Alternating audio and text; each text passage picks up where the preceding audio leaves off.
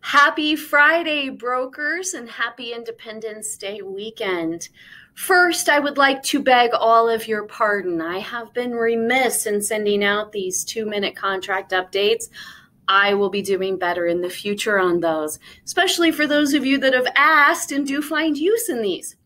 Today, I wanted to touch very briefly on multiple offers. Obviously, this is a much bigger conversation than a two minute contract update, but I'm going to give you some of the bigger pointers, hopefully, that you find useful. So there's the seller's side of this conversation, and then there's the buyer's side of this conversation.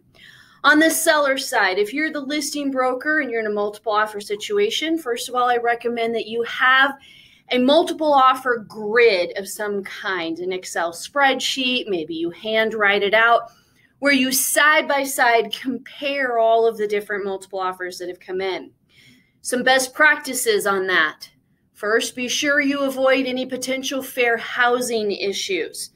When you reference these offers, I would be cautious on what you're identifying each of the offers as. I would recommend maybe leaving off buyers' names on there to avoid any muddying of the waters of a fair housing issue. Also, be careful that you're not committing any Article 15 violations of the NAR Code of Ethics by speaking untrue about other brokers, other brokerage firms, or their practices. And just because you may have an opinion may or may not mean that's an actual fact. So be very cautious you're not stepping into any Article 15 violations. We focus on the offer. We focused that it's a business transaction and what is going to be the best for the seller.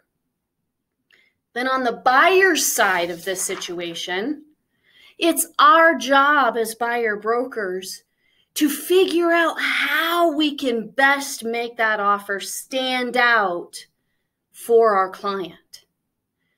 It's our job to find out from the listing broker what's important to the seller. Typically, there are four things that matter the most to a seller, or there's four areas of things there's money, time, convenience, and certainty. And what is the most important to that individual seller is the responsibility of the buyer broker to find out from the listing agent. What's important to your seller? Find that information out so that you can correctly guide the buyer in presenting their offers. Now, there's a lot of things that go into that. There's escalation clauses, there's appraisal gaps. Of course, cash is king, like it or not. But that doesn't mean that just because you have a VA transaction that might be a little more challenging, that that buyer can't win. They absolutely can. You just have to figure out how to make that work.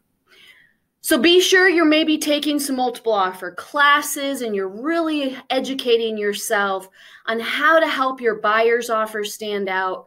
But you're also doing some best practices to protect sellers as well as to protect yourself in the future if we have any sort of litigation issues that come from the crazy time we're in. Hope you all are having a great Friday. I will keep in touch with my two minute contracts. Take care.